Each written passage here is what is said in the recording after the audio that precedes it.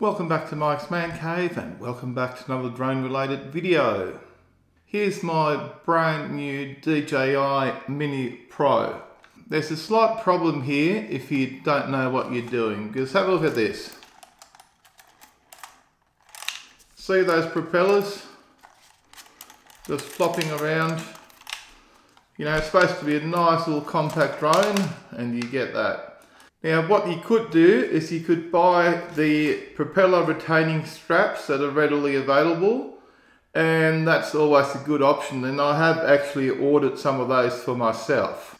And we will be taking a look at those in a future video once they turn up.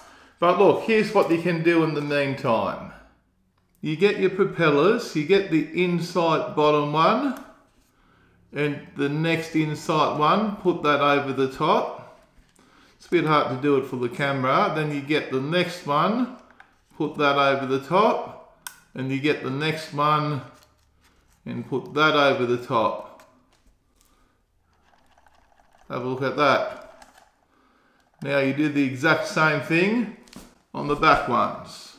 You get your first one in there, then you get the next one over the top, get the next one over the top of that one, get the next one over the top of that one.